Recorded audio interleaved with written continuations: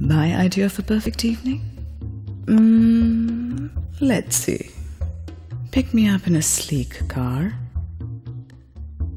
Pamper me with a tall glass of bubbly.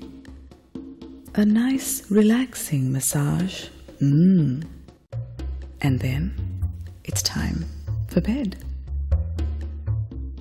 Virgin.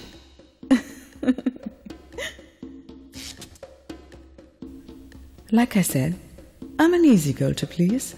Just give me the best.